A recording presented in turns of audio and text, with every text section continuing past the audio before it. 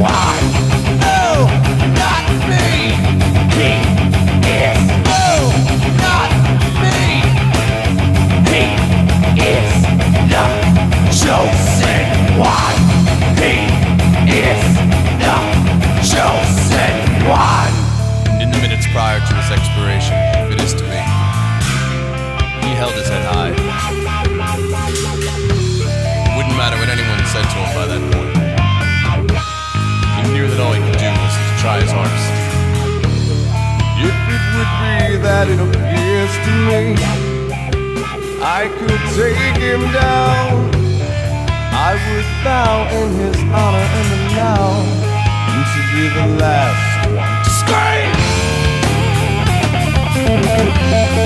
scream.